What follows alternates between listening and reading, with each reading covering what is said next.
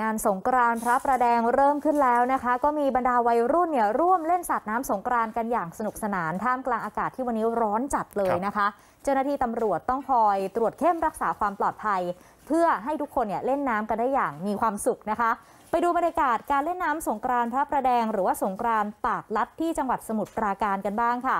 วันนี้ก็คือคักไปด้วยกลุ่มวัยรุ่นนะคะ หลังจากที่ห่างหายกันไปในช่วงโควิดระบาด 3 ปีด้วยกัน และปีนี้นะคะจะเห็นว่ามีประชาชนจำนวนมากเริ่มออกมาสาดน้ำตลอดสองข้างทาง ในถนนทั้งถนนสุขสวัสดิ์ถนนปู่เจ้าสมิงพราย ถนนเพชรหึงนะคะแล้วก็ยังมีตามตรอกซอกซอยต่างๆ ในอำเภอพระประแดงด้วย ซึ่งการเล่นน้ำสงกรานต์ปีนี้เจ้าหน้าที่เขาคุมเข้มค่ะ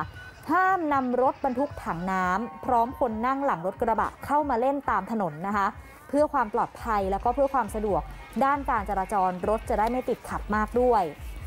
ส่วนไฮไลท์สำคัญของงานประเพณีเล่นน้ำสงกรานต์พระประแดงก็คือขบวนแห่นางสงกรานต์ค่ะ ได้มีขบวนแห่รถบุพชาติ การประกวดนางสงกรานต์และหนุ่มลอยชายที่เป็นการฟื้นฟูสืบสารการเล่นพื้นบ้านซาบ้ารามัน วัฒนธรรมการแต่งกายตามวิถีของชาวมอญชาวไทยเชื้อสายรามันนะคะที่จะมีขึ้นในเวลา 16 นาฬิกาก็คือ 4 โมงเย็น ที่ว่าการอำเภอเมืองพระประแดงนั่นเอง โห ดูแล้ว น่าจะคลายร้อนกันได้มากเลย เพราะว่าแดดจ้ากันเหลือเกินนะคะครับขณะที่การรักษาความปลอดภัยค่ะ ด้านผู้บังคับการตำรวจภูธรจังหวัดสมุทรปราการ ท่านบอกว่ามีการจัดกำลังเจ้าหน้าที่ตำรวจ มีเจ้าหน้าที่ฝ่ายปกครอง